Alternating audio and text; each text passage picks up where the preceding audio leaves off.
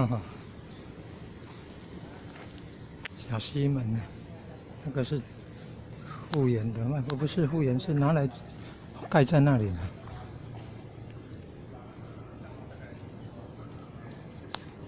前方的荣园呢，这边成功湖了。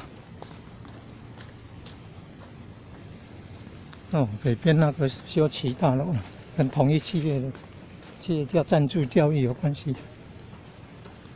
修齐大楼，文学院修齐大楼，跟那个吴修齐先生有关系啊。企业家赞助教育，哦，盖那么大的大楼，这边历史。